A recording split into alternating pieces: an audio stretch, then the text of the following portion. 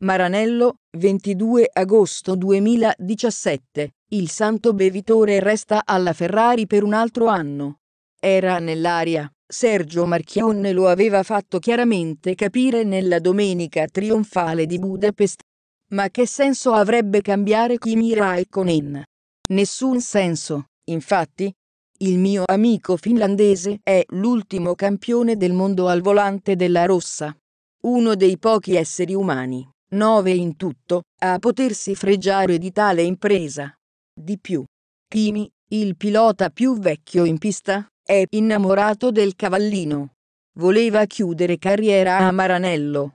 Lo sta facendo alla grande, e con spirito di sacrificio. In questa stagione poteva vincere a Monte Carlo, e soprattutto in Ungheria. Si è sacrificato per la scuderia.